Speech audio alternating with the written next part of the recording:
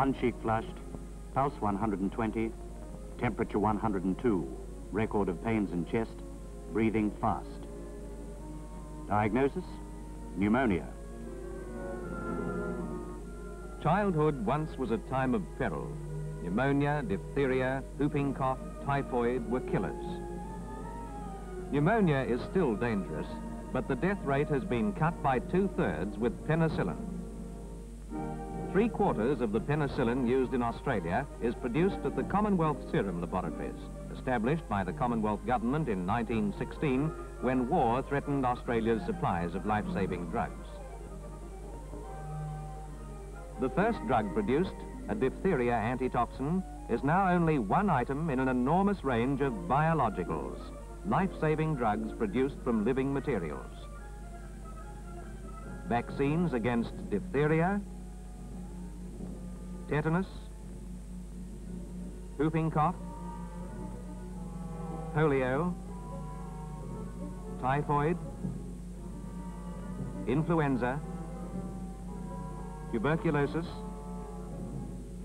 smallpox, cholera, yellow fever, insulin for diabetics, penicillin, antivenin against spider bite, and snake bite.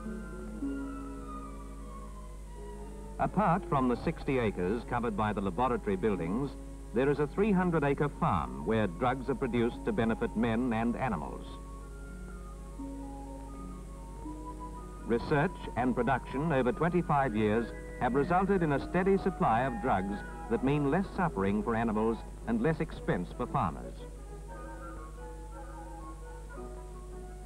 Altogether, the laboratories produce some hundreds of different biologicals, all designed to save life. The pattern of the work is a pattern of the knowledge and imagination of scientists, the ability of engineers, and the skill of operatives. One of the recent developments at the laboratories is the production of the Salk vaccine, defense against polio, which struck at more than 2,000 in 1950. Less than 14 months after the successful use of the vaccine in the United States, it was produced at the laboratories.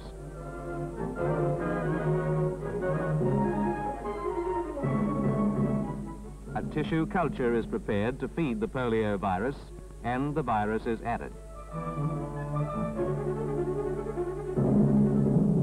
Are three different types of poliovirus, the tiny agents that can kill or paralyze, and all three are needed in a vaccine giving complete protection.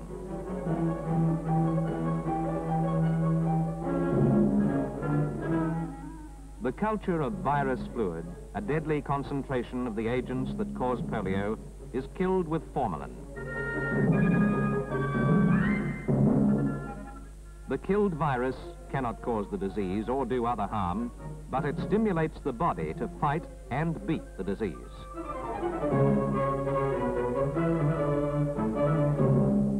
All through the process, constant tests and controls make sure that the final vaccine will be safe and effective. Thousands of test tubes contain samples of the batch in production at every stage. There is enough vaccine in a batch to give complete protection to 200,000 people. The millions of doses are the first step in the immunization campaign now well underway, which means that another disease is coming under control.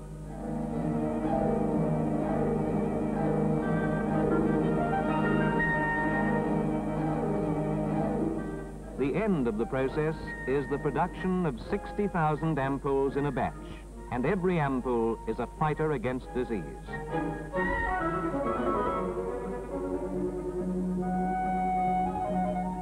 Discovery of a cure or a preventive is the beginning of the story, not the end. Production can be an engineering problem. Penicillin was discovered in 1928 but it was not until 1941 that it was produced in useful quantities in England. The Commonwealth Serum Laboratories now produce tons of penicillin each year. It is no restricted scientific activity, but a major industrial undertaking.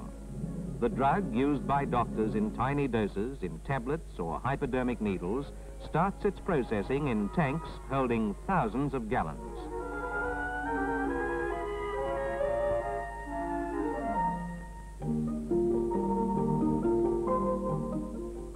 Scientists, engineers, tradesmen are at work to give doctors the tools they must have to defeat disease, to save life.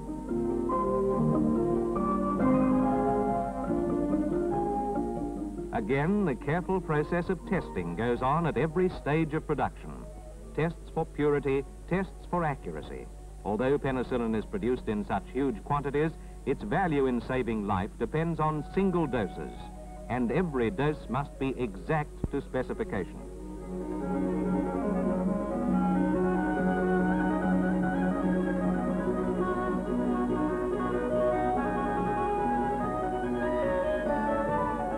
The final product is penicillin in crystals, pounds and pounds of it, looking for all the world like something a grocer sells. But this is no grocery. It is another of the scientists' answers to the threat of disease. The work of the laboratories has no end. Solving one problem means time and opportunity to tackle the next. The research section is investigating diseases from influenza to cancer. The first step is to find and identify the cause of the disease, as years ago scientists identified the pneumococcus that causes pneumonia. It is slow work because it must be sure. Lives depend on these eyes and brains the skill of these fingers, the observations made, the deductions drawn. Check and cross-check. There must be no possibility of final error in work where a mistake can mean death. Venomous bites have killed many people. Commonwealth Serum Laboratories research has produced antivenines to counter spider bite.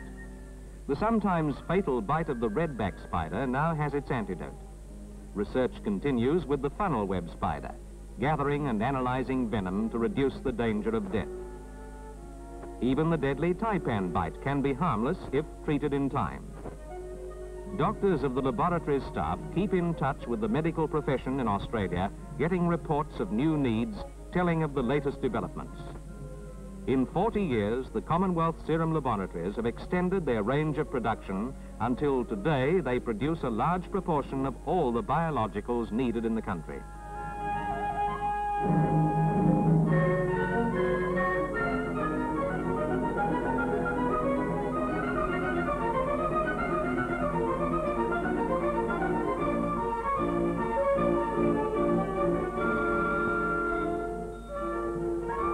Largely through the use of biologicals, the death rate in children under five has dropped by more than three quarters in the last 50 years. Vaccination against diphtheria has been followed by a drop of more than 90% in the yearly death rate. Inoculation against whooping cough has reduced its danger to children. There have been no cases of cholera in Australia for many years. No Australian soldier of World War II was a victim of tetanus. Typhoid fever, once a scourge, is now very rare.